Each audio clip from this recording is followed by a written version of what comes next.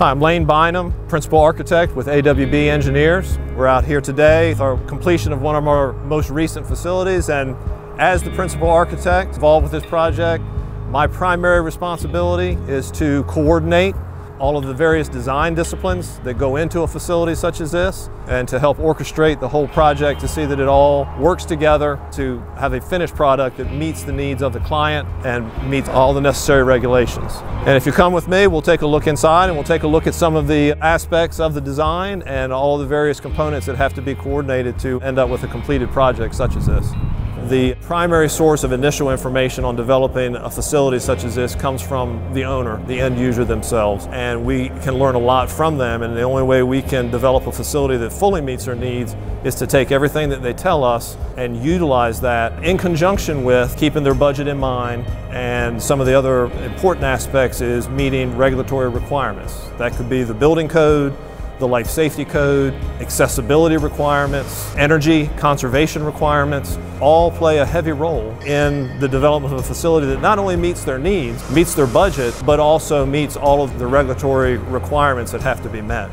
In speaking of the various codes that have to be considered in the development of the project, it's multifaceted. There's many regulatory agencies just within the building itself, let alone the site design and various aspects associated with it. But within the building, obviously one of the primary aspects of concern that most codes are developed around is life safety, with heavy focus on fire safety. From the very beginning, we have to look at the use of a building. What is the intended use group? What will the building be constructed of? Will it be combustible, non-combustible? All of those components weigh in on how large of a building can actually be built. Uh, what are the limitations? Will a sprinkler system be required to, to allow a certain size building? A facility such as this size requires unlimited area. With that, we have to be concerned with how close are any other buildings? What is the clearance around the building to property lines? Ensuring that the building is fully sprinklered. Once that's determined and we know our limitations, then we can start coming into the building and factoring in other aspects of the code.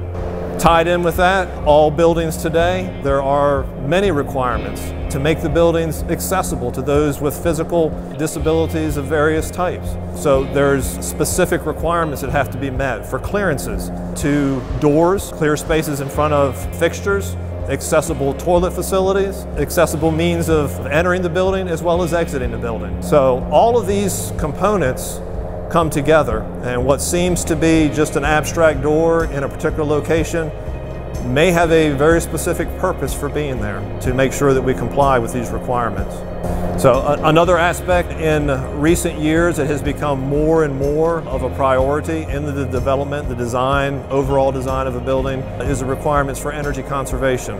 Much of that is taken care of in the mechanical designs using high efficiency HVAC equipment and in electrical lighting, the use of LED lights that are used in this facility.